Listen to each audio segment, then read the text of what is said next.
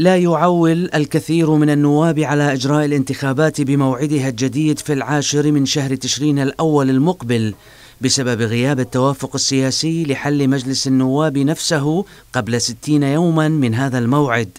لكنهم يرون في تأجيلها فرصة لتعديل قانون الانتخابات في ظل اعتراض العديد من الكتل وعدم تصويتهم لصالحه في جلسة إقراره. تأجيل الانتخابات فرصة لبعض الكتل المعترضة. يعني طبعا الفرصة كبيرة جدا. يعني يصير تعديل على القانون آه، يصير تنضيج للقانون من أجل أن نخرج بانتخابات عادلة. العاشر أعتقد منها احتمال أنه تؤجل الانتخابات. العقبات التي تواجه إجراء الانتخابات بموعدها ليست سياسية فقط فمشكلات عزوف الناخبين عن المشاركة وحصر السلاح بيد الدولة وإكمال توزيع البطاقة البيومترية.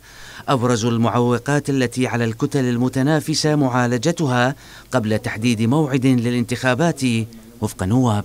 تأجيل آه، مطلوب من أجل زرع الثقة عند المواطن لأنه الكل يعرف هنالك نسبة عالية من العزوف عند المواطنين وفقدان أمل بنتائج العملية السياسية ونتائج يعني الدورات السابقة وملفات الفساد والتدخل الخارجي والإحباط اللي يعيش به المواطن وخاصة إحنا في أزمة مالية. حادة يعني مست المواطن بلقمة عيشه.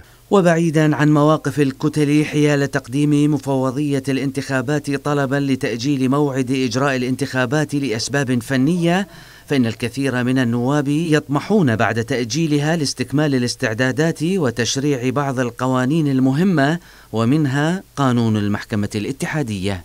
وبعيدا عما يمنحه تأجيل الانتخابات من فرصة لإنضاج القانون وتهيئة الأجواء سياسيا وأمنيا وحتى نفسيا إلا أن إجراؤها يعتمد على توافق سياسي وحل البرلمان لنفسه قبل موعد إجراء الانتخابات. أحمد عرام العراقية الإخبارية بغداد.